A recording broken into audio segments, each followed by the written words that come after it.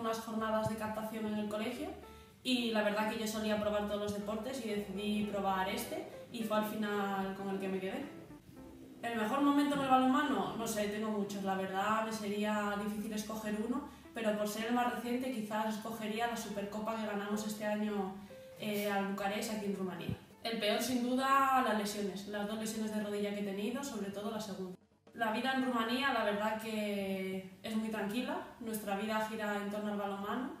Eh, a pesar de que tienen una cultura diferente, nuestra vida no es muy diferente a la que tenemos en España, pero eso sí, hace mucho más frío. La playa y la comida, sobre todo la comida. Si no me dedicara al balonmano, eh, no sé a qué me dedicaría especialmente. Seguro que algo que tuviera que ver, que estuviera relacionado con los deportes, porque la verdad que siempre he estado ligada a ellos. Una jugadora con la compartir pistas, sin duda, Andrea Rikic.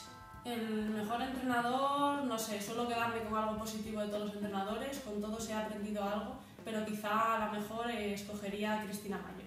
Supersticiosa. De pequeña era muy supersticiosa, tenía muchísimas manías, pero la verdad que me las he ido quitando todas y solo me queda entrar a la pista dos veces con el pie izquierdo.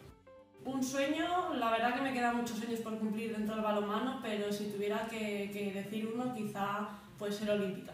Cuando me retire seguro que sí, que sigo ligada al balonmano, no sé de qué manera, no sé si como entrenadora de alguna otra forma, pero seguro que sí. Y a una niña que, empieza a jugar al balonmano le diría que disfrute, que se divierta sobre todo y que aprenda de todos los valores que, que nos da el balonmano.